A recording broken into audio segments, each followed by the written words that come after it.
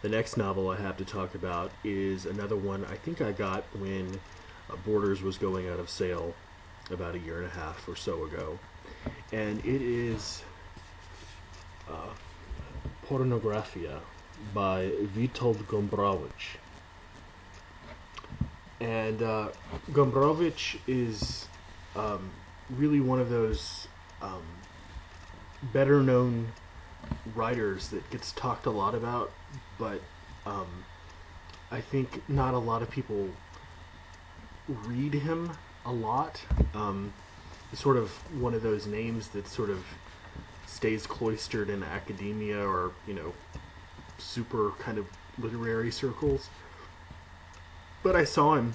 I saw his name, not him.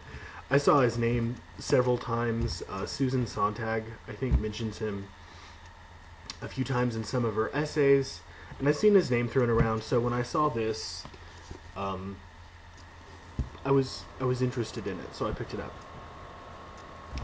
Uh, when reaching the end of a novel, uh, usually I have you know quite a bit to say or not much to say, but when I finished this, I felt that it was both. You know, quite a bit to say, and then not so much. Uh, this was my first experience reading uh, Gombrowicz, and it was a really be- bewildering and exciting one. Um, the novel has, I thought, elective affinities with Kundera that make it a unique and not wholly pleasurable read. About one third of the way through it, I wasn't sure that I would make it the rest of the way. Uh, the purely distilled, unrelenting psychological depiction of its characters and occasional absurdism can sometimes make it an arduous reading experience, but this eventually lets up a bit as you go on. I stuck with it, and I'm glad I did.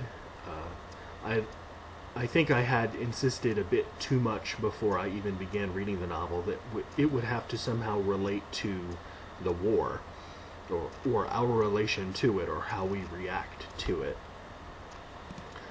As has already been noted, uh, if you've listened to or read other reviews, uh, the title is appropriate, but the novel is not pornographic in any sense that we usually use the word today. Perhaps that's why seduction has been used as an alternate translation in the past. Instead, the pornography here is a perversely pathological inspection of its central characters.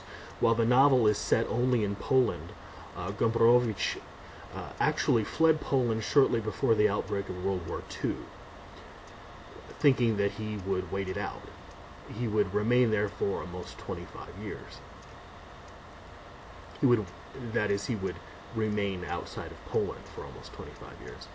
The two main characters in the novel, uh, Friedrich and Witold, again, uh, like J.M. Coetzee, Gombrowicz attempts the reader with autobiography by using his own name. Uh, Friedrich and Witold conspire to get Henia and Karol romantically interested in one another, even though they hardly notice each other, and Henia is already engaged to a young attorney. Uh, Witold initially is the one who shows an interest in the young couple. However, Friedrich's interest, Friedrich's interest soon, soon comes to border on the obsessive, conniving to have Henia's fiancé catch them in a romantic tryst. Meanwhile, a Polish soldier fighting in the resistance movement heightens the tension of the story as several plots to kill him are eventually hatched within the household. A fascination with youth apparently imbues much of uh, Gombrowicz's work.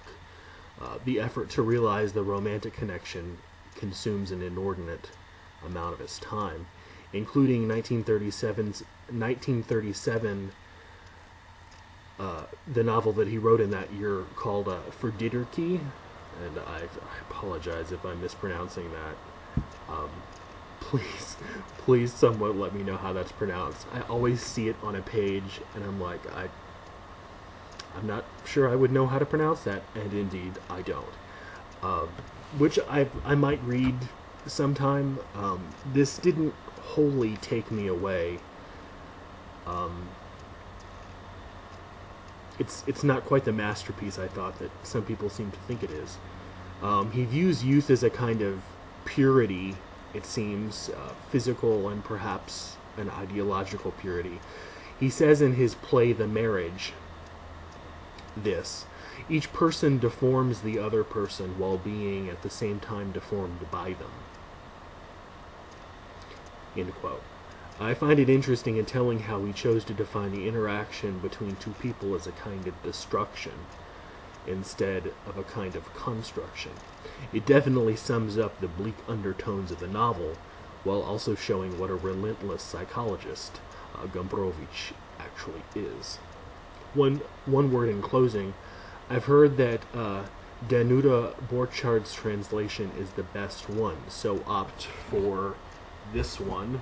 I'm not sure if it's still being put out with this cover, but uh, Danuta Borchardt is the uh, translator who translated this particular version. Uh, assuming, of course, that you can't read the original Polish. I know a few viewers of this video can read the original Polish, so if you can, that's a treat for you. Um, also, don't approach it with the same preconceived notion that it of something that it should be, namely a philosophical meditation on war, simply because World War II is the setting. I think this was one of the things that sort of lessened my reading pleasure the most. Um, the novel certainly isn't for everyone, but those that love a thoughtful author, a real writer's writer, as they say, would really rec- would would really love it.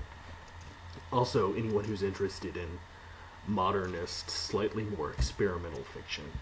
Uh,